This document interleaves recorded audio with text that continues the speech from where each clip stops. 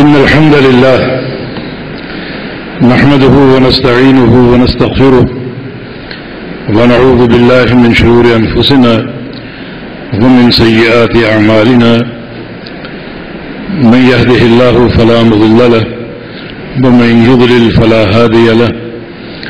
وأشهد أن لا إله إلا الله وحده لا شريك له وأشهد أن محمد عبده ورسوله.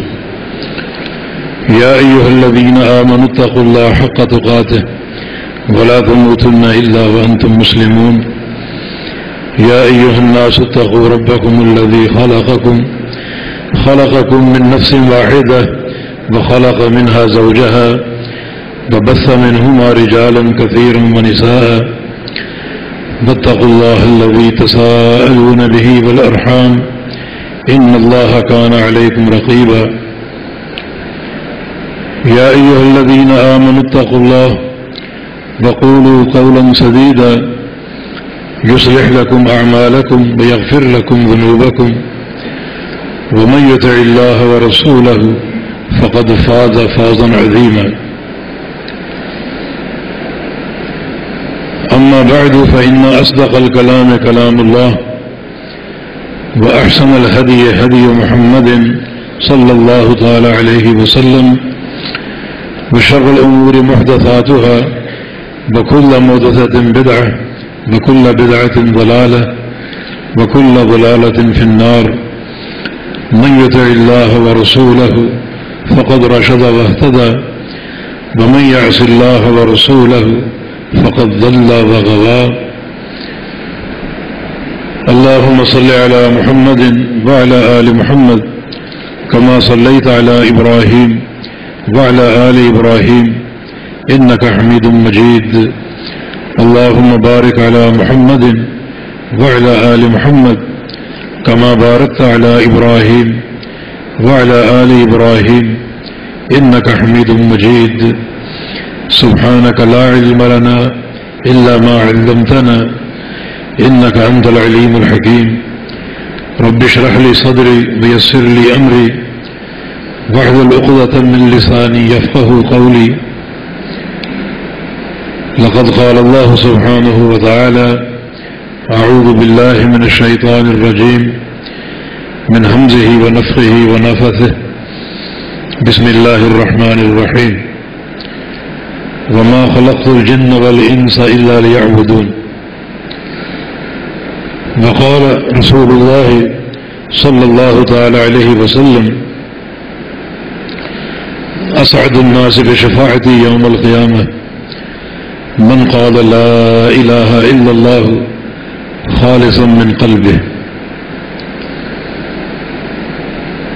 رئیس مجلس علامہ طارق محمود یزدانی حافظ اللہ اور دیگر تمام علماء کرام اور حاضرین گرامی قدر السلام علیکم ورحمۃ اللہ وبرکاتہ۔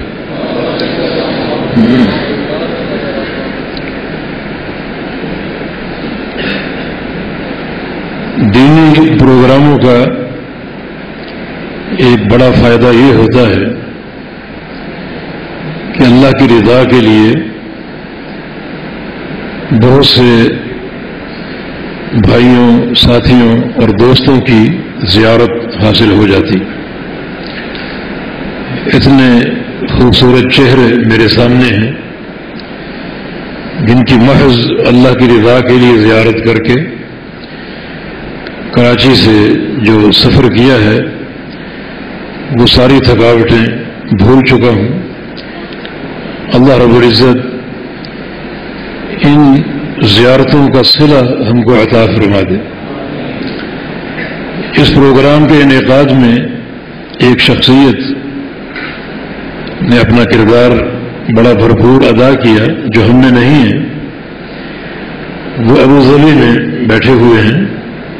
ہمارے نواز بھائی حافظ اللہ جن کا مسلسل مجھ سے رابطہ رہا اور آپ سے بھی۔ اور انہی کوششوں سے یہ پروگرام بحمد اللہ فائنل ہوا۔ اور آج یہ ملاقات اللہ نے کروا دی۔ اللہ تعالیٰ آپ سب کو جزائے خیر عطا فرمائے۔ اور اللہ تعالیٰ ہمارے بھائی نواز صاحب کو بھی اس کا پورا اجر عطا فرمائے اور تمام پریشانیوں سے ان کی حفاظت کرے۔ تو بات ہو رہی تھی اللہ کی رضا کے لیے زیارت کی، جو آج آپ سب کی مجھے حاصل ہوئی۔ اس کا فائدہ نبی اسلام کی ایک حدیث سے واضح ہوتا ہے۔ حدیث قدسی ہے وہ۔ اللہ پاک فرماتا ہے، وجبت محبت ہی دل متحابی نفی ہے وجبت محبت ہی دل متضابری نفی ہے وجبت محبت ہی دل متجارسی نفی ہے ان لوگوں کے لیے میری محبت واجب ہو جاتی ہے جو آپس میں محبت کرتے ہیں میرے لیے اور ان لوگوں کے لیے میری محبت واجب ہو جاتی ہے جو آپس میں ملتے جلتے ہیں، زیارتیں کرتے ہیں میرے لیے اور ان لوگوں کے لیے میری محبت واجب ہو جاتی ہے جو آپس میں مل بیٹھتے ہیں میرے لیے تو یہ سارا سلسلہ مل بیٹھنا، زیارتیں کرنا کسی دنیاوی مقصد کے تحت نہیں ہے، صرف اللہ رب العزت کی رضا کے لیے ہے۔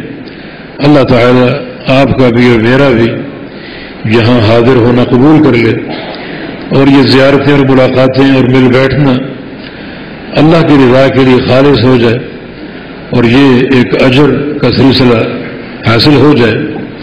اور یہ نیکی ہمارے میزان حسنات کا ذخیرہ بن جائے۔ یہ کلمہ لا الہ الا اللہ، یہ کلمہ طیبہ ہے۔ اس کے تقاضے یہ آج کا موضوع ہے۔ یہ کلمہ لا الہ الا اللہ بڑا افضل کلمہ ہے۔ نبی السلام کی ایک حدیث ہے کہ افضل الذکر لا الہ الا اللہ۔ سب سے بہترین ذکر لا الہ الا اللہ ہے۔ یہ سب سے بہترین ذکر۔ اور باقی جتنے بھی اذکار ہیں، ان اذکار میں لا الہ الا اللہ کا معنی موجود یہ سبحان اللہ ہے۔ اس میں لا الہ کا معنی ہے۔ الحمد للہ ہے۔ اس میں اللہ کا معنی ہے۔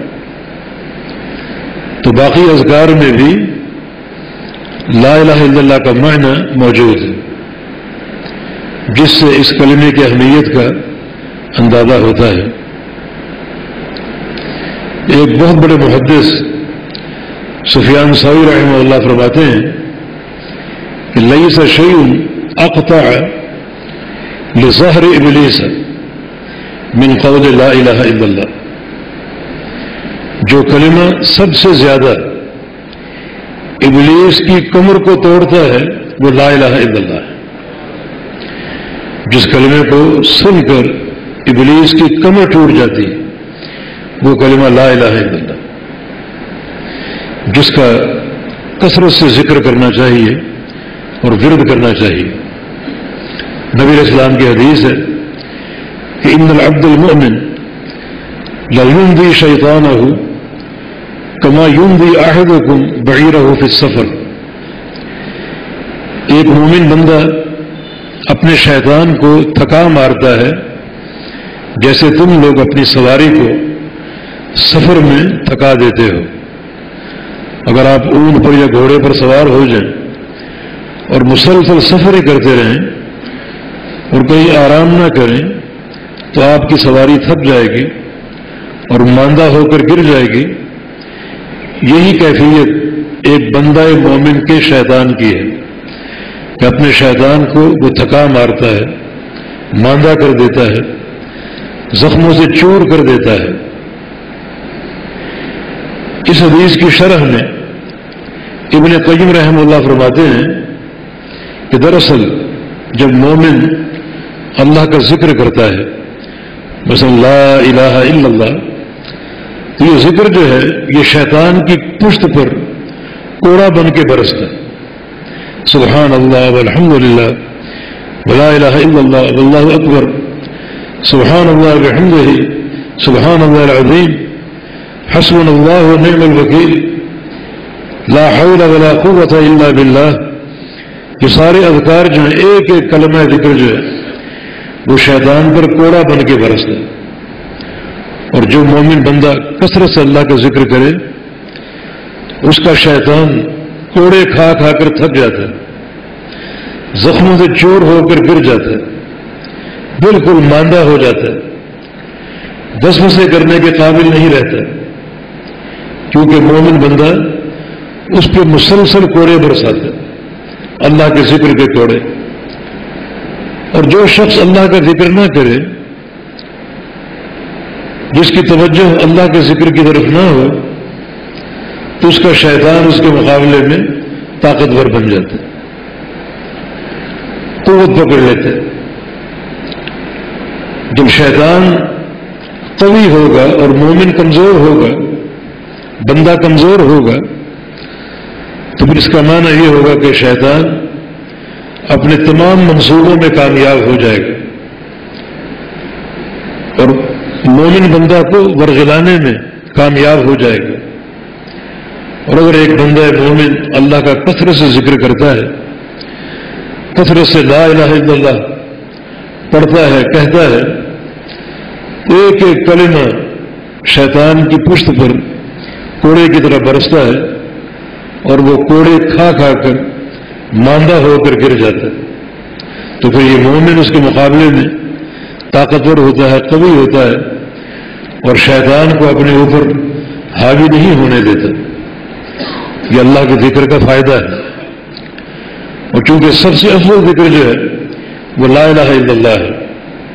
یہ کلمہ توحید جو ہے، یہ بقول سفیان صحیح رحمہ اللہ کے سب سے زیادہ شیطان کی کمر کو توڑ دینے والا ہے۔ تو پھر کیوں نہ ہم اس کلمے کو کثرت سے پڑھیں، اس کا ذکر کریں، اس کا گرد کریں، تاکہ جو شیطان ہم پر مسلط ہے، اس کی کمر ٹوٹ جائے، وہ تھک ہار کر گر جائے، ماندہ ہو کر گر جائے۔ ورنہ یہ شیطان بڑا خطرناک دشمن ہے اور کسی پر ترس نہیں کھاتا، اسے کسی پر رحم نہیں آتا۔ بلکہ اپنی تمام کوشش صرف کر ڈالتا ہے مسلمان کو گمراہ کرنے کے لیے اور نیکی کے راستے سے روکنے کے لیے۔ لیکن اگر کثرت سے ذکر ہوگا تو شیطان میں ہو سکتا ہے اور اس کی قوتیں ماندہ پڑ سکتی ہیں اور مومن اس کے مقابلے میں کبھی ہو سکتا ہے۔ اور جو انسان اللہ کا ذکر نہ کرے نبی اسلام کی ایک حدیث ہے کہ مسر الدیت کو ربا ہو ولدی لایت کو کمسر الحی والمیت کہ جو شخص اللہ کا ذکر کرتا ہے اور جو اللہ کا ذکر نہیں کرتا، ان دونوں کی مثال زندہ اور مردہ کسی ہے۔ ذکر کرنے والا زندہ ہے، اس کا دل زندہ ہے اور ذکر نہ کرنے والا مردہ ہے۔ اس کا دل بھی مردہ ہے۔ جو سمجھا جائے کہ اس کا دل ایک مردہ ہے اور اس کا جو جسم ہے، وہ اس کی قبر ہے۔ اور یہ مردہ دل اس مردہ جسم میں مدفون ہے۔ تو جسم جو ہے وہ قبر کی مانند ہے، جو اس دل کو چھپائے بیٹھا ہے۔ اور ایسا انسان بہت جلد شیطان کے مساوس کا شکار ہو کر گمراہیاں خرید لیتا ہے اور پھر وہ دین سے بغاوت اختیار کر لیتا ہے۔ ہر وہ راستہ اختیار کر لیتا ہے جو خالے کے کائنات کی معصیت پر منتج ہو اور اس کو ورگلانا بڑا آسان ہو جاتا ہے۔ لہذا ہمیں چاہیے کہ ہم ذکر کی کثرت اپنا معمول بنائیں اور وہ اذکار خاص طور پہ منتخب کریں جو شیطان پر بہت ہی بھاری ہیں۔ جسے لا الہ الا اللہ، افضل الذکر۔ اور یہ چار کلمات سبحان اللہ الحمد للہ ولا الہ الا اللہ، واللہ اکبر۔ یہ شیطان پر بھاری بھی ہیں اور نیکیوں کا خزانہ بھی ہے عظیم خزانہ۔ گناہوں کی بخشش کا ذریعہ بھی ہے رسول کریم صلی اللہ علیہ وسلم ایک بار تشریف لے جا رہے تھے۔ کچھ صحابہ آپ کے ساتھ تھے، آپ کے ہاتھ میں چھڑی تھی۔ ایک سوکھا درخت آپ نے دیکھا جس کے پتے سوکھے ہوئے تھے۔ اس درخت کو دیکھ کر آپ صلی اللہ علیہ وسلم نے صحابہ کو کچھ نصیحت دینا چاہیے کچھ علم نافع دینا چاہیے آپ صحابہ کو کھڑا کر کے اس درخت کے قریب چلے گئے۔ اور ایک شاخ پر اپنی چھڑی ماری اور پتے جھڑ گئے۔ رسول اللہ وسلم نے ارشاد فرمایا کہ میں ایک ایسا ذکر جانتا ہوں، چند ایسے کلمات جانتا ہوں۔ اگر تم پڑھنے لگو تو درخت کے پتوں کی طرح تمہارے گناہ جھڑ جائیں اور تم پاک صاف ہو جاؤ۔ جیسے یہ شاخ پتوں سے خالی ہو گئی تم بھی اسی طرح گناہوں سے پاک صاف ہو سکتے ہو۔ اور وہ کلمات ہیں سبحان اللہ بلحمد للہ ولا الہ الا اللہ واللہ اکبر۔ ایک بار نبی اسلام تشریف فرماتے، اچانک آپ نے سوچا خبو حدرا کو اپنی ڈھالیں پکڑ لو، اپنی ڈھالیں سنبھال لو۔ صحابہ چاروں طرف جھانکنے لگے، کوئی دشمن دکھائی نہ دیا۔ صحابہ نے پوچھا حل من عدو بن حضر یا رسول اللہ علیہ وسلم، کیا کسی دشمن کے حملے کا خطرہ ہے؟ ڈھالیں کیوں پکڑ لو میں نہیں، آج جو ڈھالیں سنبھالنے کا میں حکم دے رہا ہوں، یہ ڈھالیں دشمن کے مقابلے میں نہیں، بلکہ جہنم کے مقابلے میں ہے جہنم سے بچاؤ کے لیے اپنی ڈھالیں سنبھال لو۔ تب صحابہ نے عرض کی یا رسول اللہ علیہ وسلم، وہ ڈھالیں ہم نہیں جانتے۔ ہمارے پاس ڈھالیں موجود ہیں دشمن سے مقابلے کے لیے، لیکن جہنم سے بچاؤ کے لیے ڈھالیں کیا ہیں؟ وہ ہمیں معلوم نہیں۔ ہے تو رسول اللہ علیہ وسلم نے اشاعت فرمایا وہ چار کلمات ہیں، سبحان اللہ والحمد للہ ولا الہ الا اللہ واللہ اکبر۔ یہ کثرت سے پڑھا کرو یہ چار کلمات جہنم کے مقابلے میں ڈھال بن جائیں گے۔ اور کل جب قیامت قائم ہوگی، حشر کے میدان میں جہنم کے شعلے باہر لٹک رہے لپک رہے ہوں گے، چنگاریاں نکل رہی ہوں گی، جہنم دھاڑ رہی ہوگی۔ سارے لوگ خوف سے کانپ رہے ہوں گے، مگر جن لوگوں نے یہ کلمات پڑے ہوں گے، ان کے ہاتھوں میں بچاؤ کی ڈھالیں موجود ہوں گی، اور مطمئن ہوں گے وہ، پرسکون ہوں گے وہ۔ یہ اذکار کے فائدے ہیں۔ ایک برا شخص نبی السلام خدمت میں حاضر ہوا اور کہا کہ یا رسول اللہ وسلم، زبان موٹی ہو چکی ہے اور عقل جو ہے وہ معروف ہوتی جا رہی ہے۔ قرآن پاک یاد کرنا مشکل ہو رہا ہے، تو مجھے کچھ اذکار بتا دیجیے جو قرآن کا بدل ہو میرے لیے۔ رسول اللہ صلی اللہ علیہ وسلم کہ ہاں پانچ کلمات، سبحان اللہ، والحمد للہ، ولا الہ الا اللہ واللہ اکبر اور پانچواں ولا حول ولا قوت الا باللہ۔ یہ پانچ کلمات ہیں، یہ تم پڑھ لو۔ اس بوڑھے آرابی نے کہا کہ یا رسول اللہ جلدی نہ کیجیے ذرا مجھے دہرانے دیجیے آپ سنیں کہ مجھے صحیح یاد ہو گئے۔ تو اپنے ہاتھ کے اشارے سے وہ وہ پانچ کلمات گننے لگا۔ سبحان اللہ، والحمد للہ، ولا الہ الا اللہ، واللہ اکبر۔ ولا حول ولا قوت الا باللہ اور اس کی مٹھی بند ہو گئی عربی تھا، پھر بول پڑا۔ یا رسول محاد ربی فمالی ان پانچوں کلمات میں جو ذکر ہے، میرے رب کا ذکر ہے۔ یہ کلمات میرے رب کے ہیں، میرے لیے کیا ہے؟ کچھ مجھے بھی مانگنے کے لیے دیجیے تھوڑا کہ تم بھی پانچ کلمات لے لو۔ اللہ مغفر لی برہنی وعافنی وحدنی برزقنی یا اللہ مجھے بخش دے، یا اللہ مجھ پر رحم فرما، یا اللہ مجھے عافیت دے دے، یا اللہ مجھے ہدایت دے دے، یا اللہ مجھے روزی عطا فرما دے۔ تم بھی لے لو۔ تو اس نے پھر کہا، جلدی نہ کیجیے مجھے ذرا دہرانے دیجیے یہ مٹھی بند تھی، اس نے دوسری مٹھی کھول کر اللہ مغفر لی برہم لی بآف نہیں واہد نہیں نے یہ الفاظ دہرائے دونوں ہاتھ بند ہو گیا بڑی اس کو خوشی حاصل ہوئی، کھڑا ہو گیا۔ اور یہ کل میں دوہراتے دوہراتے وہاں سے روانہ ہو گیا۔ رسول اللہ علیہ وسلم نے جب وہ نظروں سے اوجھل ہو گیا، فرمایا کہ اما ہاضا فقط ملا یدہ بالخیر۔ یہ شخص خالی ہاتھ آیا تھا اور خیر کے خزانے بھر کے لوٹ گئے خیر کے خزانے بھر کے لوٹ گئے تو یہ خیر ہی خیر ہے، اللہ کا ذکر، رحمت ہی رحمت ہے۔ جہنم کے مقابلے میں ڈھال، شیطان کے مقابلے میں ڈھال، معصیتوں کے مقابلے میں ڈھال اور گناہ جھڑ جائیں گے درخت کے پتوں کی مانند، تو پھر کثرت سے ہمیں اللہ کا ذکر کرنا چاہیے؟ افضل و ذکر جو ہے، وہ لا الہ الا اللہ ہے۔ افضل و ذکر لا الہ الا اللہ۔ اس کا پہلا تقاضا یہ ہے یہ کلمہ آج ہم سے پہلا تقاضا یہ کر رہا ہے کہ مجھے پڑھنے والوں، مجھے سمجھو بھی، میرا فہم بھی حاصل کرو۔ یہ کلمہ ایسا نہیں کہ اس کو آپ رٹنا شروع کر دیں طوطے کی طرح۔ اور اس کا معنی معلوم نہ ہو، مفہوم معلوم نہ ہو۔ جیسے طوطا چوری چوری کرتا رہتا بس لفظ اس کو آتا ہے۔ چوری اس کے سامنے ڈھیر لگا دو۔ اس کی بلاس اسے کیا معلوم یہ کیا پڑھاؤ؟ ہم بھی کلمہ پڑھتے ہیں، طوطے کی چوری کی معنی تلفظ متق بغیر فہم کے، بغیر ادراک کے اور بغیر معنی کے معلوم کیے۔ کوئی فائدہ نہیں جو کلمہ دین کی اساس ہے۔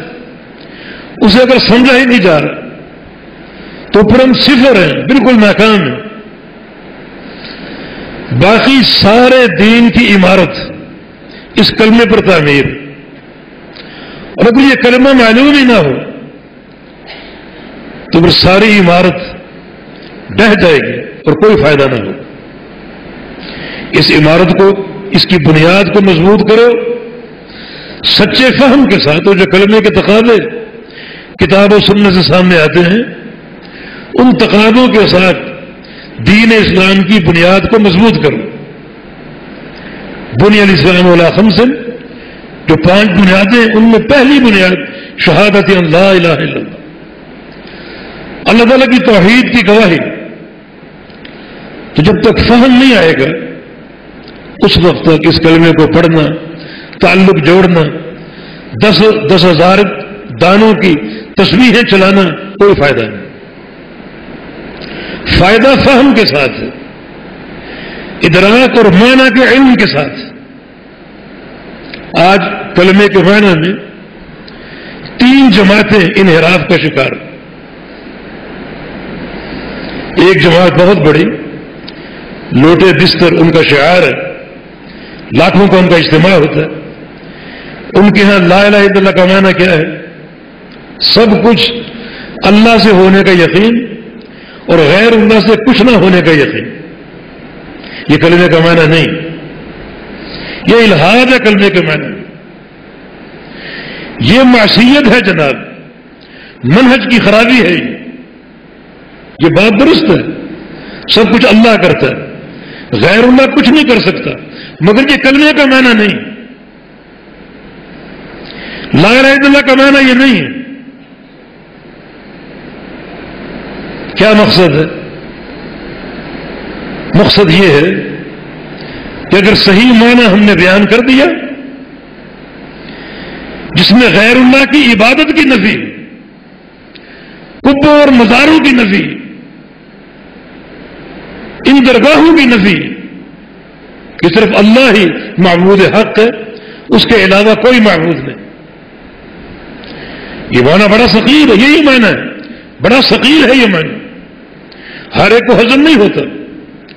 اور اس جماعت کا شعار یہ ہے کہ لوگوں کو جوڑو، توڑو نہیں۔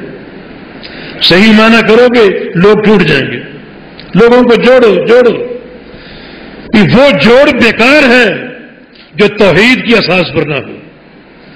اللہ کے پیارے پیغمبر نے کلمے کی دعوت پیش کی۔ وہ لوگ سمجھنے والے تھے۔ بھائی بھائی سے ٹوٹا، باپ بیٹے سے ٹوٹا۔ بیوی شوہر سے ٹوٹی، شوہر بیوی سے ٹوٹا۔ یہ کیا جوڑ اور توڑ ہے؟ لوگوں نے خونی رشتے توڑ دیے۔ اس کلمے کی دعوت کو قبول کر کے صحابہ کرم ہجرت کے واقعات آپ دیکھیں۔ یہ جوڑنا اور توڑنا جب تک اساس توحید نہ ہو، اس جوڑ کا کوئی فائدہ نہیں۔ جنگ بدر میں ایک تلوار لگی اور کھوپڑی کٹ گئی۔ گونجی ہوئی جا رہی ہے وہ کھوپڑی، وہ جا کر گری۔ تلوار کس کی تھی؟ ابو بیدا بن جرا کی۔ کھوپڑی کس کی تھی؟ اس کے سگے باپ کی۔ توڑو جوڑو۔ تو یہ ایک ایک الہادی شکل ہے یہ۔ جملہ وہ درست ہے۔ سب کچھ اللہ سے ہونے کا یقین اور غیر اللہ سے کچھ نہ ہونے کا یقین۔ لیکن یہ کلمے کا معنی نہیں۔ یہ جماعت اسی کلمے کے تعلق سے دوسری بات یہ کہتی کہ توحید بیان کرو، مگر شرک کی نفی نہ کرو۔ توحید بیان کرو، مگر یہ شرک کے مرکز ہیں، شرک کے اڈے ہیں، ان کا ذکر نہ کرو۔ ان ان کی تردید نہ کرو۔ کیوں؟ وہی نقطہ، تاکہ لوگ جڑیں۔ نہ کہ ٹوٹے۔ بڑی عجیب بات ہے۔ جوڑ اور توڑ کی بنیاد جو ہے، وہ عقیدہ توحید ہے۔ جو موحد خالص ہے، وہ ہمارا ہے۔ جس کی عقیدے میں شرک ہے، درار ہے، وہ ہمارا نہیں۔ اس سے تعلق دعوت ہوگا۔ اس کو سمجھائیں گے، اس کی اصلاح کریں گے۔ لیکن یہ جوڑ اور توڑ کی جو بنیاد ہے، فکر ہے، یہ باتیں غلط ہے۔ یہ فکر تو اہل مکہ نے پیش کی تھی۔ نبی اسلام کے پاس ایک وقت بھیجا کہ آؤ، کچھ جوڑ توڑ کر لیں۔ کچھ دو اور کچھ لو۔ کچھ تنازل آپ اختیار کریں، کچھ ہم اختیار کرتے۔ کچھ اپنے موقف سے آپ ہٹیں، کچھ ہم ہٹتے۔ تاکہ صلح ہو جائے ہم جڑ جائیں۔ تھوڑا کیا فارمولہ ہے؟ ان کا فارمولہ یہ ہے کہ آپ توحید بیان کریں۔ ہمارے جو الہ ہیں، معبود ہیں، ان کی تردید نہ کریں۔ بالکل وہی بات۔ تاکہ ہم جڑ جائیں۔ مخالفتیں ختم ہو جائیں فرمایا، اگر یہ سورج میرے دائیں ہاتھ میں رکھ دو اور چاند میرے بائیں ہاتھ میں رکھ دو میں تمہارے جو معبود آنے باطلا ہیں، اس کی تردید سے بات نہیں آؤں گا۔ مکمل توحید جو ہے، اس کے دو ارکان ہیں۔ یہ کلمہ لا الہ الا اللہ، یہ مکمل توحید ہے، اور یہ دو ارکان پر مشتمل۔ ایک ہے لا الہ، رکن اول، اور دوسرا الا اللہ، دوسرا رکن۔ لا الہ الا اللہ۔ یہ دو ارکان اس کلمے کے۔ اور توحید کا عقیدہ، اس کی تکمیل ان دو ارکان کے ساتھ ہے۔ لا الہ رکن نفی ہے۔ ہر معبود باطل کا انکار۔ اللہ رکن اس بات ہے۔ صرف ایک اللہ محبود حق ہے۔ لا الہ ایک چیز کی نفی کر رہا ہے۔ اللہ ایک چیز کو ثابت کر رہا ہے۔ نفی کس چیز کی؟ جتنے معبود آنے باطلا لوگوں نے بنا رکھے ہیں، سارے باطل، سب میں حق ہے۔ یہ نفی اور ان اللہ ایک چیز کو ثابت کر رہا ہے کہ صرف اللہ ہی معبود حق ہے، وہی اکیلا عبادت کے لائق ہے۔ ان دو ارکان کے ساتھ عقیدہ توحید کی تکمیل ہوتی۔ اس کا معنی یہ ہے، ایک شخص اگر زبان سے اللہ کی توحید کا اقرار کر لے، یہ کافی ہے؟ نہیں۔ جب تک اس کے دل میں بھی اللہ کی توحید نہ ہو، چلے اب زبان سے اقرار کر لیا، دل سے اللہ کی توحید کا اعتراف کر لیا، اتنا کافی ہے؟ نہیں۔ جب تک وہ عملی طور پر پوری زندگی ایک اللہ کی عبادت نہ کرے۔ نمازیں ہو تو اللہ کے لیے، حج ہو تو اللہ کے لیے، روزے ہو تو اللہ کے لیے، تمام عبادات اللہ کے لیے۔ چلے زبان سے اقرار ہو گیا۔ دل سے تصدیق ہو گئی۔ پوری زندگی ایک اللہ کی عبادت کرتا رہا۔ اب کافی ہے؟ نہیں۔ جب تک سارے معبودان باطلہ کا انکار نہ کرے نفی اور اس بات خالی اس بات توحید نہیں۔ خالی نفی توحید نہیں۔ بلکہ نفی اور اس بات ان دونوں ارکان کے ساتھ مل کر عقیدہ توحید کی تکمیل ہوتی۔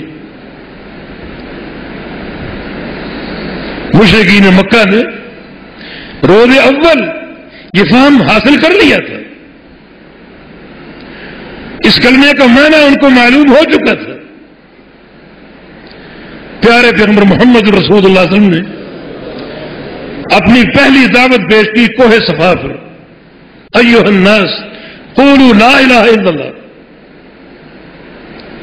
لوگوں نے سنی چچا ابو لہب نے برا بھلا کہا۔ قوم کفار نے کیا کہا؟ اجعل الالحت الہ واحد ان کا فہم کہ اس میں تو اپنی اس دعوت کے ذریعے سارے معبود ختم کر کے ایک الہ کی دعوت دی۔ کفار قریش کا فہم۔ اس کلمے کا معنی یہ ہے، کوئی معبود نہیں۔ مانا ہمارے لات منات، عزا، جن جن کو پکارتے ہیں نائلہ ہر گھر میں بت تھے بیت اللہ میں تین سو ساٹھ بت تھے مانا یہ سب باتیں معبود صرف ایک ہی ہے۔ بالکل درست ہے۔ ان کا فہم صحیح ہے۔ انہوں نے صحیح سمجھا، مگر قبول نہیں کیا۔ آج لوگ قبول کرتے ہیں فہم کے بغیر۔ فہم نہیں۔ اللہ کو سجدے بھی ہو رہے ہیں، قبروں کے طواف بھی ہو رہے ہیں، قبروں کی مجاورت بھی ہو رہی شرک بھی ہو رہا تو ایسا قبول کارآمد نہیں ہے۔ تو کلمے کا اولی تقاضا یہ ہے کہ مجھے سمجھو۔ میری بنیاد کو پہچانو، میری اساس کو پہچانو۔ سمجھنے کے بغیر یہ کلمہ قابل قبول نہیں ہوگا۔ تو دین کی اساس ہے۔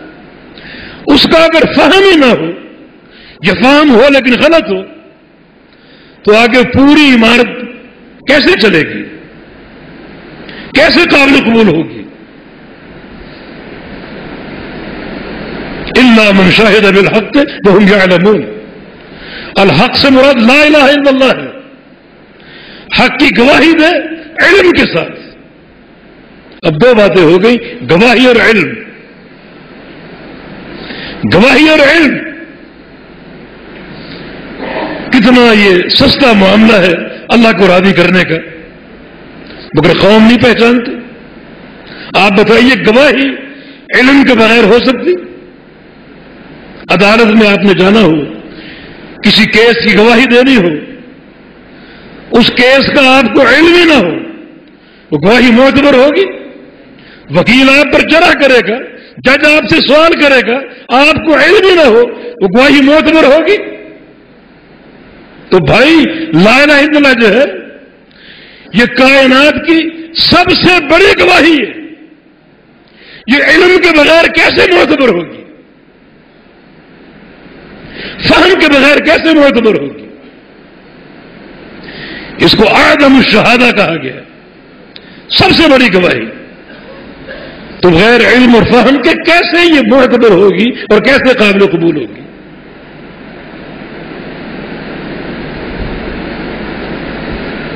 آدم الشہادت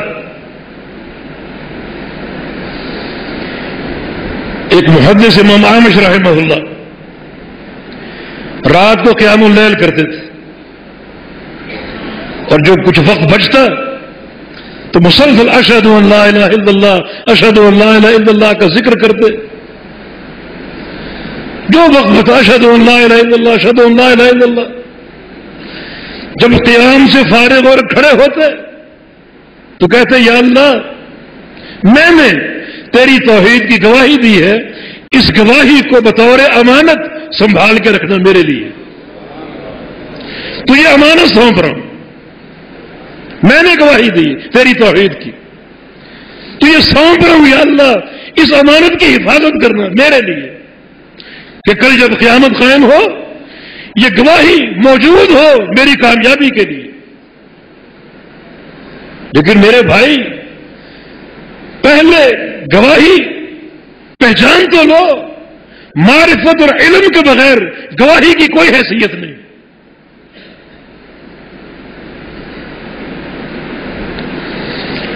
تو یہ اس کلمے کا اولین فقات ہے۔ ایک طبقہ اور ہے۔ یعنی خطوا اپنی خطابت کے انداز میں بار بار ترنم کے ساتھ لا الہ الا اللہ پڑھتے ہیں اور ساتھ معنی کرتے ہیں۔ ہر جگہ موجود اللہ ہی۔ لا الہ الا اللہ۔ ہر جگہ موجود، اللہ ہی۔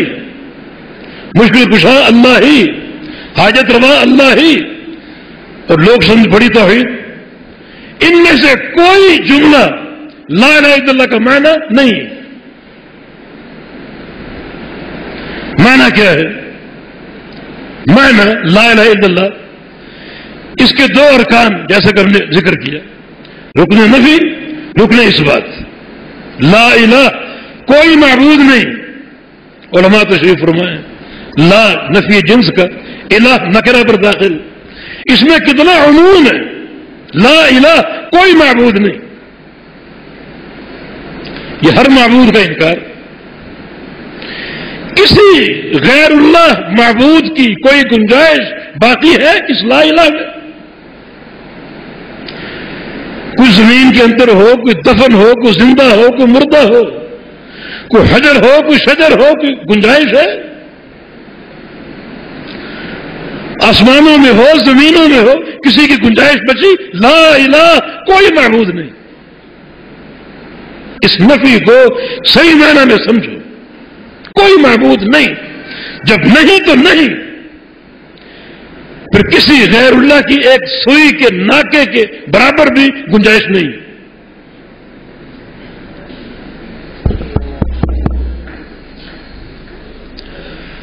اور ان اللہ جو ہے، رکنے اس بات۔ صرف اللہ ہی معبود حق ہے۔ اللہ تعالی ہی معبود حق ہے۔ تو لا الہ نے ایک چیز کی نفی کی اور ان اللہ نے ایک چیز کو ثابت کیا۔ ہماری اس گفتگو سے ایک نتیجہ اور آپ کے سامنے آنا چاہیے کہ جب توحید دو ارکان کے ساتھ ہے لا الہ اور ان اللہ. تو پھر ان دو ارکان کو ساتھ ساتھ رکھو، ساتھ ساتھ جوڑو اور ملاؤ. ایک طبقہ صوفیاء کا ذکر میں تختی کا قائل. وہ کہتا ہے کہ چھ مہینے لا الہ لا الہ لا الہ کا ذکر کرو. ان اللہ کی منزل بعد میں آئے گی. لا الہ لا الہ لا الہ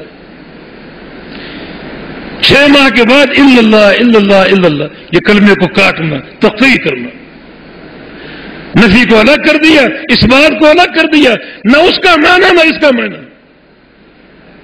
کوئی فائدہ نہیں۔ ٹکرے مارتے رہو۔ نہیں، توحید کامل جو ہے، نفی اور اس بات کے ساتھ۔ نہ لا الہ پڑھنا مفید ہے، نہ اللہ پڑھنا مفید۔ قوم کو ایک سازش کے تحت الجھایا گیا اور اصل معنی سے دور کیا گیا اپنے مقاصد کی خاطر۔ ذکر کا طریقہ بیان ہوتا ہے۔ وہ شمائم امدادیہ میں۔ لا الہ کے ذکر کا طریقہ۔ جناب، سانس کو روک لو۔ لا لا کی آواز ناف کے نیچے سے نکالو۔ پتہ نہیں کیا سسٹم ہے۔ یہاں سے آواز نکالو۔ سانس کو روک کر اور الہ کہتے ہوئے اپنی آواز کو حلق میں پھنسا لو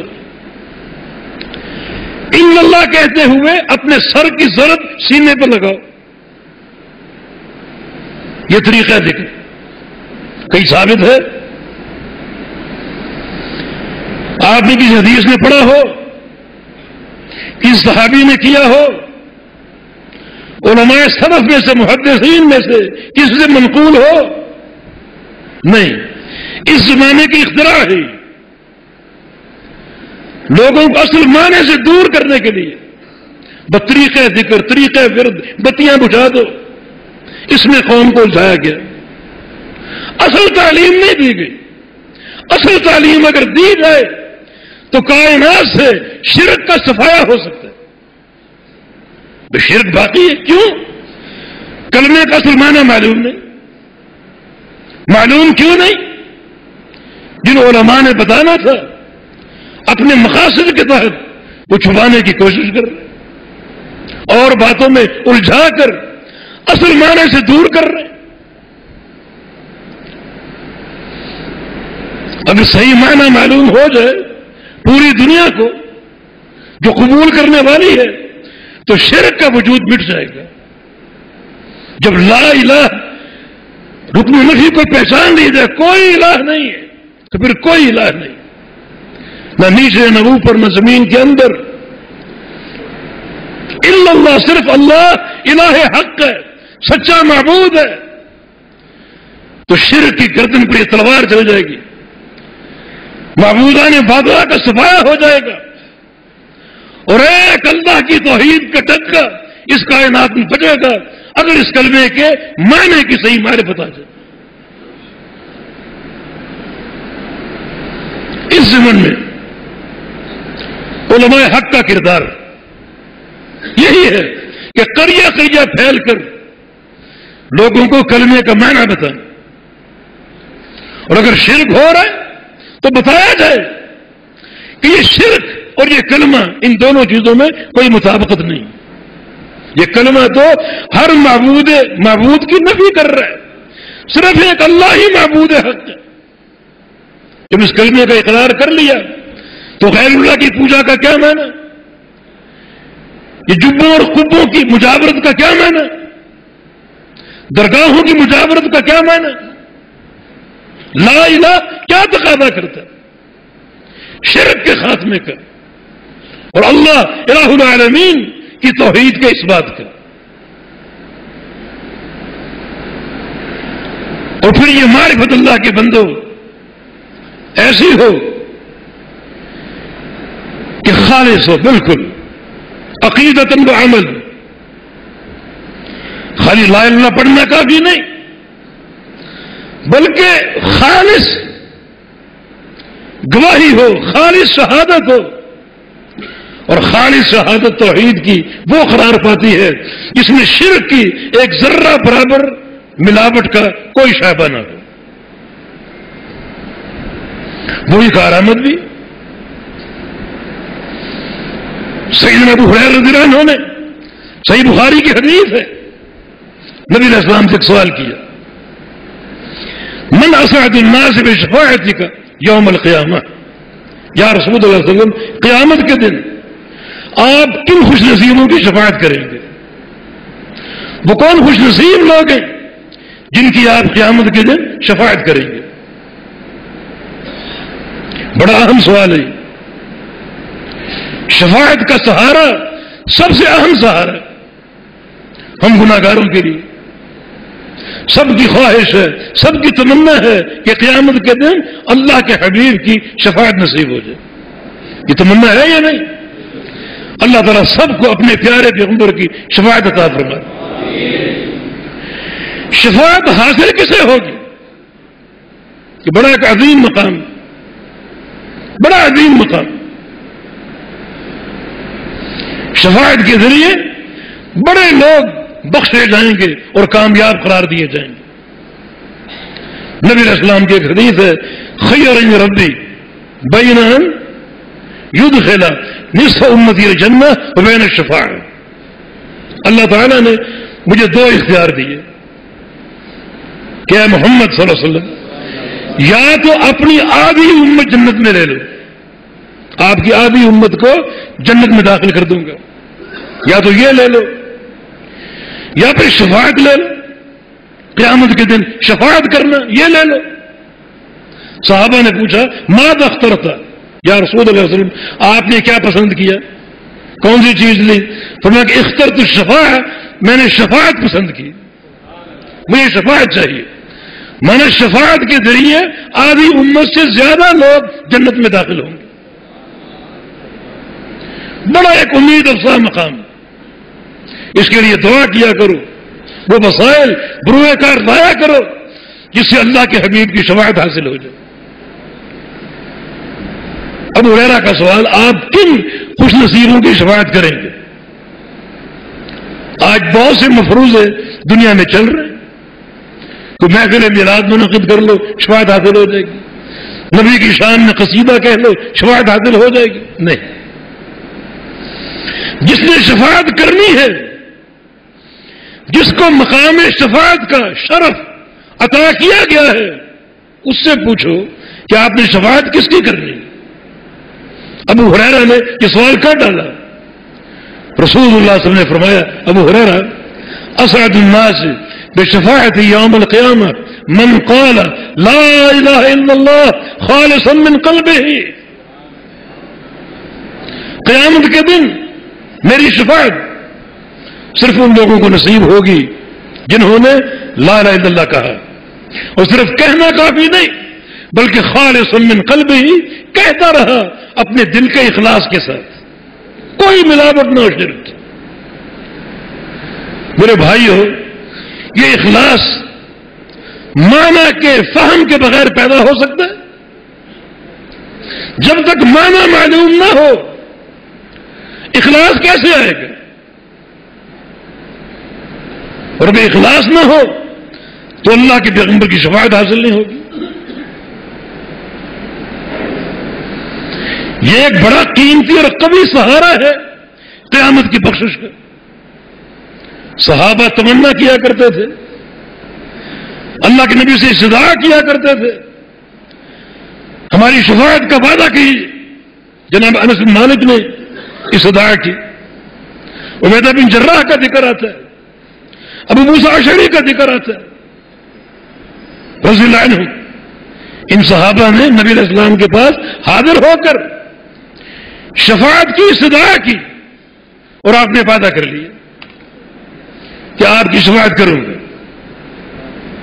پھر آپ نے سوچا، اور واقعی آپ رحمت اللہ عالمین کہ آج یہ صحابہ موجود ہیں، اور میں بھی موجود ہوں۔ اور یہ مجھ سے شفاعت کی صدا کرتے ہیں، اور میں وعدہ کر لیتا ہوں۔ لیکن بعد میں آنے والے لوگ کیا کریں گے؟ جب میں دنیا سے چلا جاؤں گا میرے بعد آنے والے لوگ پھر کیسے وہ کیا کریں گے؟ وہ شفاعت کا کس سے وعدہ لیں گے؟ چنانچہ کو ایسا فارمولہ ہونا چاہیے جو دے دیا جائے اور پوری امت کے لیے شفاعت کے تعلق سے امید افزا بن جائے۔ ایک قاعدہ، ایک ضابطہ بیان کر دیا جائے کہ یہ ضابطہ شفاعت کا ہے۔ اسے اپنا لیں۔ ایک حدیث ترغیب ترغیب میں اس میں ایک صحابی عبد الرحمن عقیل رضی اللہ عنہ اپنی قوم کے ساتھ وفد کی صورت میں آئے تھے اور اسلام قبول کیا تھا۔ ان وافدین میں سے ایک شخص نے کہا کہ یا رسول اللہ علیہ وسلم اس ربا کا سول ربا کا ملکن کا ملک سلیمان۔ آپ اللہ سے دعا کیوں نہیں کرتے کہ اللہ رب العزت آپ کو وہ بادشاہ دے دے جو سلیمان علیہ السلام کو دی تھی؟ آپ یہ دعا کیوں نہیں کر رہے تھے؟ آپ مسکرائے اور فرمایا، اللہ تعالیٰ نے مجھے جو کچھ دیا ہے، وہ سلیمان علیہ السلام کی بادشاہ سے کہیں افضل۔ اس سے بہترین ہے۔ پھر وہ کیا چیز ہے؟ فرمایا کہ وہ شفاعت ہے۔ اللہ تعالیٰ نے مجھے کہا کہ اے محمد صلی اللہ علیہ وسلم، تم کوئی دعا کر لو، میں قبول کر لوں۔ گا اگر میں چاہتا دعا کر لیتا کہ مجھے سلیمان علیہ السلام جیسی بادشاہت دے دو، اللہ دے دیتے۔ سارے پہاڑ سونے کے بن جاتے، کائنات پر حکومت ہوتی۔ اللہ دے دیتا۔ مگر میں نے کیا دعا کی؟ کہ یا اللہ تو میری دعا ہے، میں اس کا حق دنیا میں استعمال نہیں کرنا چاہتا۔ یا اللہ، اس دعا کو تو سنبھال لے قیامت کے دن اپنی امت کی شفاعت کے لیے۔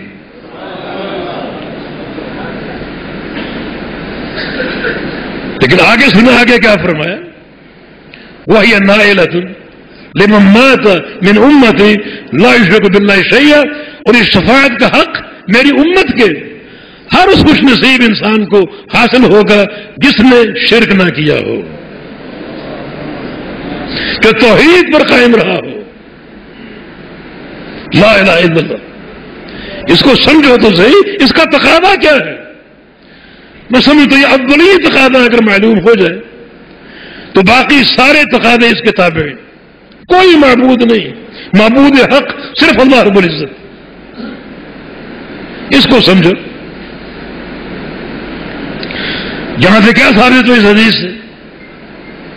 اسعد الناس بشفاعت یوم القیامہ، من خاد اللہ الہ الا اللہ خالص من قلبه. کہ لا الہ کا تقاضا یہ ہے کہ یہ گواہی دل کا اخلاص کے ساتھ ہو۔ بالکل خالص گواہی ہو، جس میں ایک سوئی کے ناکے کے برابر بھی شر کی ملاوٹ نہ ہو۔ اپنا محاصرہ کیجیے۔ کہیں کوئی شرک تو نہیں ہے، چاہے ایک سوئی کے ناکے کے برابر کیوں نہ ہو۔ مثلا، کوئی غریب بندہ مل جائے صبح صبح، دل میں خیال تو نہیں آتا کہ صبح صبح یہ متھے لگ گیا پتہ نہیں دن کیسے گزرے۔ یہ شرک کی ایک صورت ہے، ایک مخفی حملہ شرک کا گھر کی چھت پہ کبا بول جائے، الو بول جائے، ہم الو بن جاتے ہیں۔ سامنے سے کالی بلی گزر جائے ہم ڈر جاتے ہیں۔ نقصان ہوگا، حادثہ ہوگا۔ یہ شرک کی صورت ہے معاشرے میں رائج ہے ہمارے اندر تو نہیں، ہم غور کریں۔ کیوں؟ وہ گواہی معتبر ہے جو خالص ہو۔ جس میں رائی کے دانے کے برابر بھی شر کی ملاوٹ نہ ہو۔ اس گواہی کا حق ادا کیجیے ایک مکمل فہم کے ساتھ۔ مکمل فہم کے ساتھ۔ یقین کے ساتھ، یقین بھی ایک حدیث میں وارد ہے۔ صحیح بخاری کی حدیث، ابو حریر رضی اللہ عنہ۔ نبی اسلام کے ساتھ فجر کی نماز پڑھتے اپنے گھر تشریف لے اچانک نبی علیہ السلام سے ایک اداسی پیدا ہو گئی۔ گھر سے نکلے۔ تاکہ اللہ کے پیغمبر کا دیدار کر سکوں۔ آپ مسجد میں نہیں تھے، گھر میں بھی نہیں تھے۔ چل پڑے ایک طرف۔ اس دعا کے ساتھ کہ اللہ تعالیٰ اپنے پیغمبر کا ساتھ دے دے اور دیدار عطا فرماتے حالانکہ ابھی ملے ہیں۔ اداسی بن کے۔ ایک باغ کے پاس گزرے، ایک انصاری صحابی کا باغ۔ اللہ نے دل میں یہ بات ڈال دی کہ اللہ کے نبی اس باغ میں ہیں، ہو سکتے ہیں۔ دل میں یہ بات آئی۔ ہو سکتا ہے اس باغ میں۔ چاروں طرف گھوما، دروازہ بند تھا۔ ایک شگاف ان کو نظر آیا، جہاں سے پانی آتا اور جاتا تھا۔ سکڑ کر اس شکار سے بڑی محنت کے ساتھ اندر داخل ہوئے، جب کھڑے ہوئے، سامنے محمد رسول تشریف فرما بڑا خوش ہوئے۔ اپنی پوری کیفیت بتائی، پورا قصہ سنایا۔ تو رسول اللہ علیہ وسلم نے ان کو ایک علم دیا۔ ابو حیرا تمہیں ایک علم دیتا۔ اور یہ علم لے کر جاؤ باہر، لوگوں کو بشارت دو۔ وہ علم کیا ہے؟ من شاہد انہ لا الہ الا اللہ وانی رسول اللہ مستقدا بہما قلبہ۔ جاؤ لوگوں کے پاس چلے جاؤ۔ جو تمہیں ملے، یہ گواہی دیتا ہوا۔ یہ دو گواہیاں۔ اللہ کے سوا کوئی معبود نہیں۔ اللہ ہی اکیلا معبود حق ہے۔ اور محمد صلی اللہ علیہ وسلم اللہ کے رسول ہیں۔ یہ دو گواہیاں دے کس طرح؟ کس شرط کے ساتھ؟ مستحق بہما قلب اپنے دل کے یقین کے ساتھ۔ دل کے یقین کے ساتھ۔ ایک حدیث میں خیر شاک کن فی کوئی شک نہ ہو۔ دل کے یقین کے ساتھ گواہی دے۔ جو شخص تمہیں یہ گواہی دیتا ہوا ملتا جائے تو بشر جنت اس کو جنت کی بشارت دیتے جاؤ۔ بشارت دیتے جاؤ اس فرما کہ لوگ شاید نہ مانے، تو چلو میرا جوتا ساتھ لے جاؤ۔ لوگوں کو میرا جوتا دکھاؤ کہ اللہ کے نبی سے مل کے آ رہا ہوں۔ یہ جوتا اس کی دلیل ہے۔ تب لوگ مان جائیں گے۔ آپ نے جوتا لیا اور چل پڑے۔ سامنے امیر عمر نظر آئے، رضی اللہ عنہ۔ اب بڑا کیا معاملہ؟ ہے کہاں جا رہے ہو؟ یہ جوتا کیسا یہ اللہ کے پیارے پیغمبر کا جوتا ہے۔ اور آپ نے اس مشن پر بھیجا ہے کہ جو یہ دو گواہیاں دے، پورے یقین کے ساتھ اس کو جنت کی بشارت دیتے جاؤ۔ امیر عمر نے ان کو تھکا دیا، وہ گر گئے، اٹھے، روتے ہوئے اللہ کے پیغمبر کے پاس آ گئے۔ عمر نے یہ سلوک کیا وہ بھی پہنچ گئے۔ یا رسول اللہ علیہ وسلم، اگر لوگ یہ سن لیں گے کہ جو یہ دو گواہیاں دے، پورے یقین کے ساتھ اس کے لیے جنت ہے تو لوگ اس پر بھروسہ کر کے بیٹھ جائیں گے۔ لوگ اس پر بھروسہ کر کے بیٹھ جائیں گے۔ آپ نے عمر کے اس نظریے کی تصدیق فرمائی۔ عمر نے ٹھیک کہا۔ لوگوں کو عمل کرنے دو۔ علم تو موجود ہے، کتاب و سنت کے ذریعے۔ لیکن آپ نے ایک بڑی ٹکی ٹکی چیز بیان کر دی۔ جو یہ دو گواہیاں تھے، اپنے دل کے یقین کے ساتھ۔ اب یقین کیا ہے؟ یقین یہ ہے۔ جتنے معبودوں کو پوجا جا رہا ہے، وہ سارے باطل ہیں، اس کا یقین کرو۔ ایک اللہ معبود حق ہے، اس کا یقین کرو۔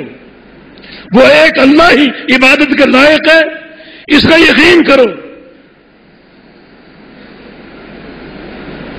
اس ایک اللہ نے اپنے رسول کو بھیجا، یقین کرو۔ اس رسول پر اللہ کی وہی اترتی ہے، یقین کرو۔ اس رسول کا عمل ہی ہمارے لیے معتبر ہے، اس پر یقین کرو۔ اگر یقین کر لو گے، کسی غیر کا عمل چلے گا، کسی کی تقلید اور کسی کی رائے، کسی کا فتوا چلے گا، حقیقت یقین کیا ہے؟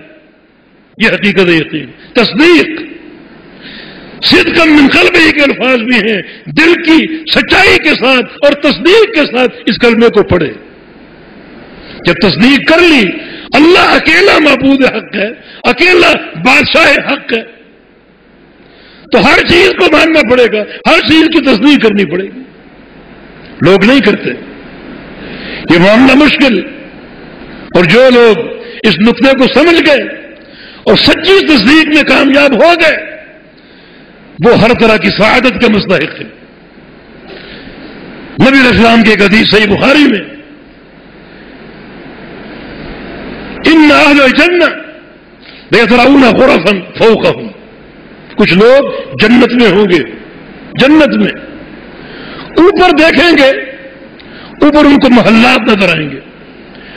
کتنا اوپر، جتنا آج زمین والے آسمان کے ستارے دیکھتے جنت میں یہ بھی ہے اور جنت میں وہ بھی لیکن فرق مراتب دیکھو، اتنا بلندی پر ہیں وہ لوگ۔ جیسے آج زمین والے آسمان کے ستارے دیکھتے۔ صحابہ نے عرض کی کہ تل کا مناظر الانبیاء، یا رسول اللہ وسلم، وہ تو انبیاء کے ٹھکانے ہو سکتے۔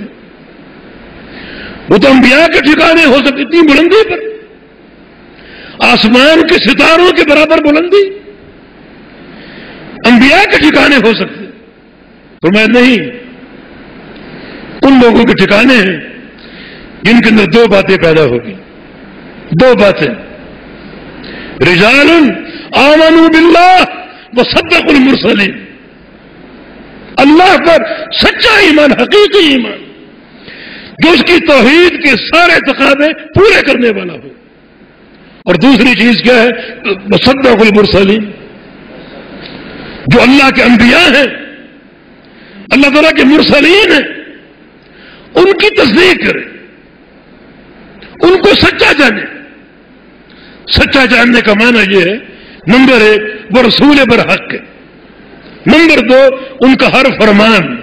ایک ایک لفظ، ایک ایک عمل، حجت ہے پوری امت کے لیے۔ نمبر تین ایسی تصدیق کریں کہ ان کے قول کے مقابلے میں، ان کے فرمان کے مقابلے میں کسی کی نہیں چلے گی۔ ورنہ تصدیق کیا ہے؟ کہ لوگ اس عقیدے کا حامل بہت تھوڑے لوگ ہیں۔ مگر آپ ان کا شرف دیکھیں، اللہ ان کے محلات اتنا اوپر بنوائے گا کہ بعض جنتی ان کو دیکھیں گے، جیسے زمین والے آسمان کے ستارے دیکھتے صدق من قلب مستحقن بہا قلب ہو غیر شاکن فیہما، کوئی شک نہ ہو، یقین ہی یقین ہو، تصدیق ہی تصدیق ہو، سچا جانے سچا۔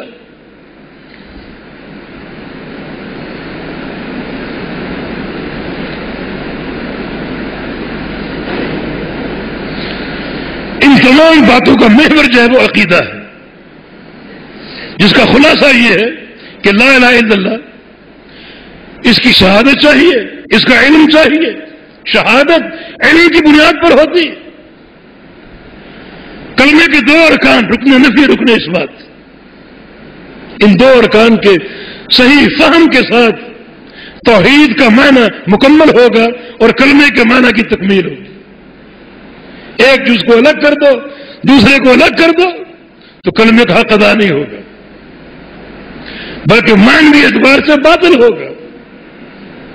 تو ایک شخص اگر ان اللہ ان اللہ ان اللہ کہتا ہے علماء سے پوچھے اللہ بمانا خیر بھی آتا ہے۔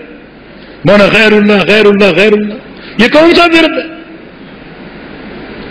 تو کہتے ہیں، لا الہ الا اللہ جو ہے، یہ آمد الناس کا ورد ہے۔ اور ان اللہ یہ خاص لوگوں کا ورد ہے۔ اور اللہ ہو اللہ ہو، یہ مزید خاص لوگوں کا ورد ہے۔ اور ہو ہو ہو، یہ اور خاص لوگوں کا ذکر ہے۔ ساری باتیں باطل۔ پورا گندگی کا مجموعہ کتاب و سنت سے ہٹ کر۔ نہیں، لا الہ الا اللہ، یہ پورا کلمہ توحید ہے۔ اس کو اس کے ارکان کے ساتھ اور مکمل مانویت جھد پڑو آخری بات یہ عرض کرنی۔ ہم سب یہ کلمہ پڑھتے ہیں۔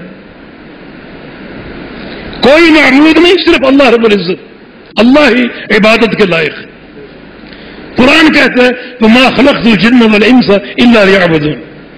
میں نے جنوں اور انسانوں کو اپنی عبادت کے لیے پیدا کیا